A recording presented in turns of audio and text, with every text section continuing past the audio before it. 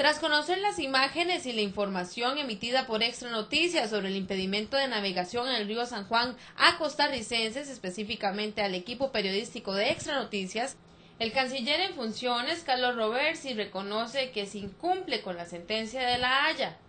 Es muy claro de que hay ahí una violación a, las resoluciones de la Corte, sobre todo cuando se está pidiendo eh, visas o se está pidiendo eh, un canon que no existe dentro del, dentro, del, dentro de lo que resolvió la Corte. Habría que ver si ellos lo que lo interpretan es que los periodistas, pregunto, porque no sé si los periodistas estaban pasando al otro lado de la, eh, al, lado ya de, territorio nicaragüense, donde sí tendrían entonces que pagar, digamos, la visa común y corriente que paga cualquier ciudadano cuando pasa a otro país. Pero si era en la navegación del río, eh, eso no existe.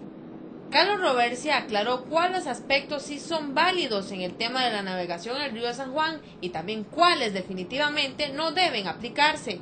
Bueno, lo primero es eh, si son ribereños, o sea, si viven ahí, tienen, digamos, una economía común o una actividad común en la zona, eh, tienen libre navegación sin ninguna restricción. Si no son ribereños, eh, va a depender. Si van a pasar la frontera, sí tendrían que pagar eh, la visa de entrada común y corriente. Si es una navegación comercial, o sea, si se pagó para poder navegar ahí comercialmente, no tendrían que pagar ningún canon.